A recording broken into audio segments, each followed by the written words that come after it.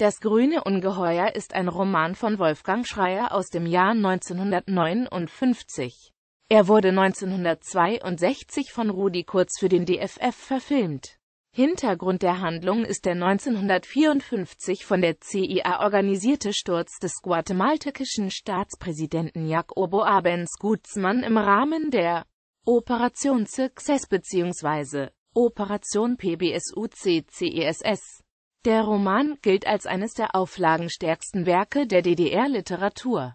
Das Buch wurde unter dem neuen Titel Der grüne Papst bis 1986 siebenmal neu aufgelegt. 2000 erschien in Rostock eine überarbeitete Fassung unter dem alten Originaltitel Das grüne Ungeheuer. Entstehungsgeschichte Die Entstehungsgeschichte ist bislang unbekannt. Nach eigenen Angaben verfasste Schreyer seinen erfolgreichsten Roman offenbar Anfang 1959 in nur acht Wochen gestand sich selbst im Nachhinein aber trotz aller positiven Kritiken gewisse Schwächen in der Darstellung lateinamerikanischer Verhältnisse ein. Das Titelbild der Erstausgabe trägt noch den Hinweis Tatsachenroman, der in der Neuauflage von 1961 fehlt. Tatsächlich ist der Haupterzählstrang fiktiv, aber eng verflochten mit den realen Vorgängen in Guatemala im Juni 1954. Kurzinhaltsangabe und Handlungsaufbau die insgesamt 93 Kurzkapitel tragen oftmals Überschriften in Anlehnung an Film- oder Buchtitel oder verfremden diese ironisch. Der dritte Mann, Kapitäne bleiben im Heck, Früchte des Zorns, Saat der Gewalt, Wolf unter Wölfen oder Bauern, Bonzen und Bomben. Sowohl der Buchtitel als auch die Kapitelüberschriften suggerieren dem Leser bewusst Abenteuer und Spannung. Der Ich-Erzähler, von dem der Leser nie seinen wahren Namen erfährt und von dem er lediglich weiß, dass er während des Zweiten Weltkriegs Unteroffizier bei der deutschen Luftwaffe war, gerät in Savannah in eine Falle einer jungen Frau, die droht, ihn wegen einer von ihr vorgetäuschten Vergewaltigung anzuzeigen. Er findet auf der Flucht vor der Polizei Hilfe bei einem alten Bekannten, Steve Baxter, den er aus Augsburg aus der Nachkriegszeit kennt, wo beide im Schwarzmarktgeschäft tätig waren. Baxter war seinerzeit Küchenbulle bei der United States Army. Steve stellt den Kontakt zu Don Miguel her, einem dubiosen Geschäftsmann, der dem Erzähler einen gefälschten mexikanischen Pass auf den Namen Antonio Morena übergibt. Morena wird dafür als Pilot bei Don Miguel eingestellt. Wie sich schnell herausstellt, arbeitet Morena nun für die Green Monster Bande, das grüne Ungeheuer eben. Die US-amerikanische United Fruit Company, die weite Teile Zentralamerikas direkt oder indirekt beherrscht. Der Begriff scheint von Schreyer selbst zu stammen, in Zentralamerika wurde die UFC in der Regel ironisch als El Pulpo, der Krake, bezeichnet. Morenas Auftrag besteht in der Entführung eines guatemaltekischen Intellektuellen, dem Journalisten Dr. Luis Guerra, und seiner Tochter Isabel, genannt Chabelita. Dadurch soll beim Überfall auf Guatemala der Kommandant des Hafens Puerto Barrios Mayor Guerra, der Bruder Dr. Geras dazu gezwungen werden, die Stadt den Invasoren auszuliefern. Doch aufgrund der Gespräche mit Dr. Gera und Chabelita beginnt Murna, seine Teilnahme an dem Staatsstreich zu überdenken. Er flieht mit Chabelita durch die Fronten, wird verhaftet, befreit sich durch einen Bluff und gelangt schließlich in die Hauptstadt Guatemala-Stadt. Doch inzwischen ist die Regierung Abens gestürzt. Der Versuch, in der mexikanischen Botschaft Asyl zu bekommen, scheitert. Zum Schluss gelingt es Morna, Chabelita und ihren Vater auf den Luftwaffenstützpunkt zu schmuggeln und mit einem gekaperten Flugzeug nach Mexiko zu fliehen, wo Dr. Guerra eine progressive Zeitung gründet, in der Morna nun mitarbeitet. Inhaltsangabe Der unbekannte Erzähler wird in Savannah Opfer einer Falle. Ein junges Mädchen namens Joan gabelt ihn in ihrem Cadillac auf der Straße auf und verführt ihn zu einer Affäre. Tatsächlich beabsichtigt sie, ihn wegen versuchter Vergewaltigung anzuzeigen, dann zu heiraten und bei der Scheidung auf eine hohe Abfindung zu klagen. Zwar gelingt ihm die Flucht aus dem Hotelzimmer, doch die Polizei fahndet nach ihm. Er sucht und findet seinen alten Freund von Augsburger Schwarzmarktgeschäften der Nachkriegszeit, Steve Baxter. Baxter verspricht Hilfe. Umgehend stellt er den Kontakt zu einem dubiosen Geschäftsmann her, Don Miguel. Dieser verschafft dem Erzähler einen gefälschten mexikanischen Pass auf den Namen Antonio Vasquez Morena, Gap. 1925 in Mexiko. Doch der Preis für Murna ist hoch. Er wird als Pilot für die Green Monster Bande, wie Baxter sie nennt, angeheuert. Sein erster Auftrag ist die Entführung von Dr. Luis Guerra, einem guatemaltekischen Journalisten, und seiner Tochter Isabel, genannt Chabelita. Sie fliegen mit Baxter und Murna als Pilot scheinbar von Florida nach Guatemala. Tatsächlich ist der Flug getürkt und die Maschine landet auf der Dolchinsel vor Honduras, wo bereits ein Empfangskomitee der Bande bereitsteht. Morena glaubte bislang, für eine kriminelle Organisation zu arbeiten, doch stellt er nun fest, dass er Teil eines politischen Unternehmens ist. Die United Fruit Company plant zusammen mit der CIA und der US-Regierung den Sturz der Regierung Abens in Guatemala, die sich für Landreformen einsetzt, die dem Konzern schwer schaden. Dr. Guerra spielt eine Schlüsselrolle in dem geplanten Krieg. Durch Erpressung soll sein Bruder, der Major Guerra, Hafenkommandant von Puerto Barrios gezwungen werden, die Stadt beim Überfall ohne Kampfhandlungen an die Invasoren zu übergeben.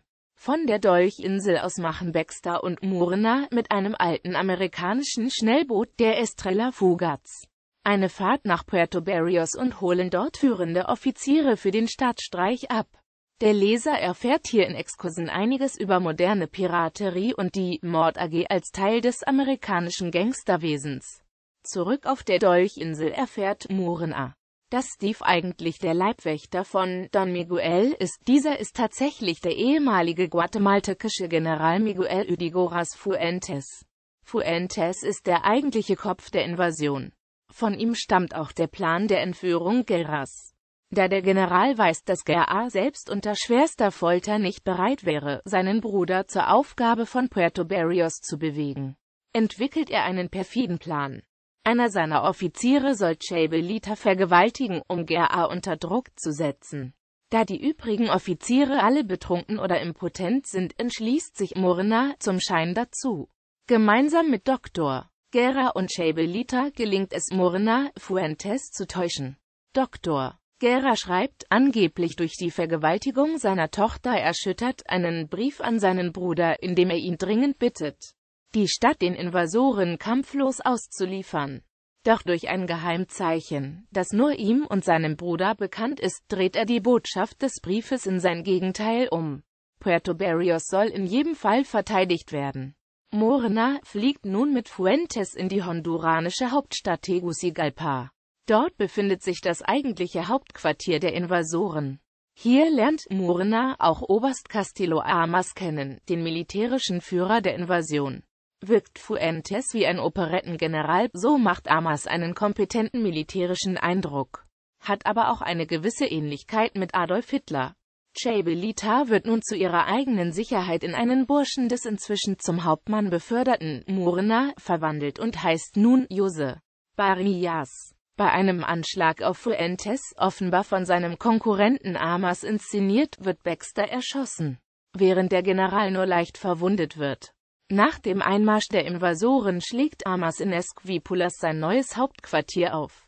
Morena und Chabelita werden bei einem deutschen Kaffeepflanzer, Hardenberg, untergebracht, einem konservativen deutsch-nationalen, der ihnen erklärt, wie im Zweiten Weltkrieg auf Druck der USA die deutschen Anlagen in Guatemala verstaatlicht wurden. Unabhängig davon begrüßt auch Hardenberg den Sturz der Regierung Abens.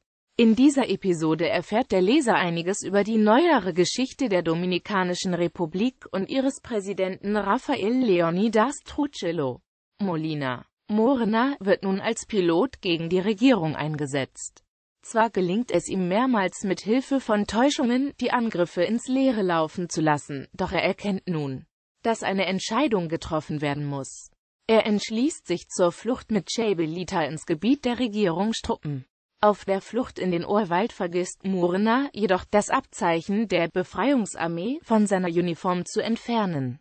Als sie in Chiquimula auf Regierungstruppen treffen, schlagen ihn die Soldaten zusammen.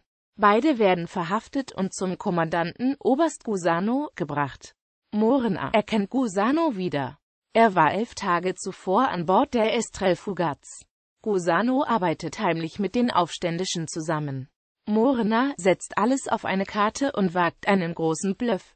Er sei heimlicher Abgesandter von Major Reis, dem Chef der Rebellenluftwaffe, und mit einem Sonderauftrag für die Regierung Abens in die Hauptstadt unterwegs. Gusano glaubt ihm und schickt ihn und Chabelita mit einem Begleitkommando unter Kapitan Cruz vor in die Hauptstadt. Doch der PKW, mit dem sie starten, strandet in einer Furt und sie müssen per Eisenbahn weiterfahren. Unterwegs wird der Zug von Invasorenflugzeugen bombardiert. Zu Fuß erreichen sie alle die Hauptstadt und nehmen Quartier im Palace Hotel.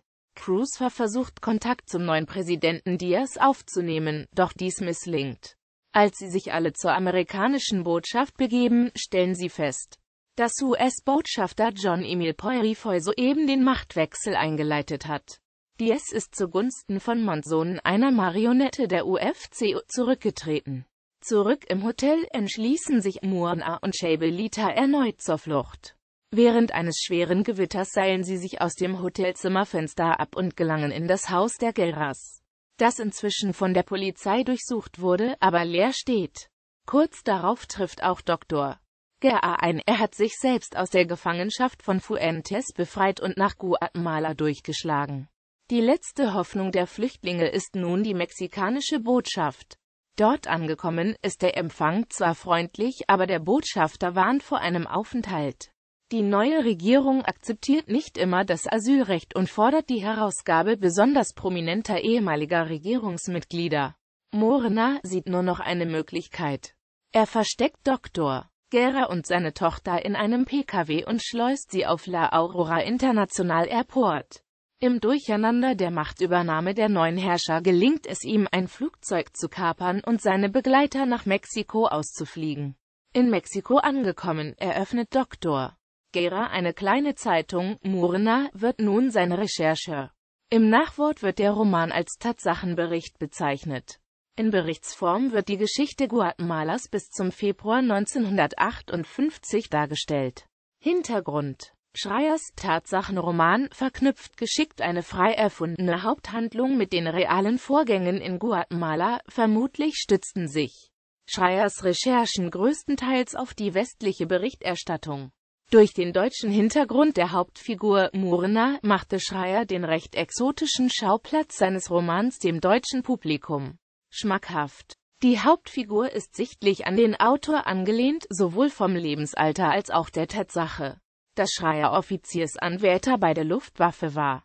Der fiktive Murna trifft mit allerlei realen Protagonisten des CA-Coups zusammen.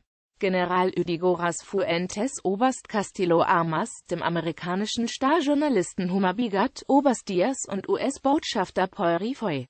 In die Handlung eingeflochten sind oftmals Exkurse zur guatemaltekischen Geschichte oder den Beziehungen der USA zu den Staaten in Zentralamerika und der Karibik. Auffällig ist, dass guatemaltekische Kommunisten, deretwegen die Invasion eigentlich stattfindet, überhaupt nicht in Erscheinung treten.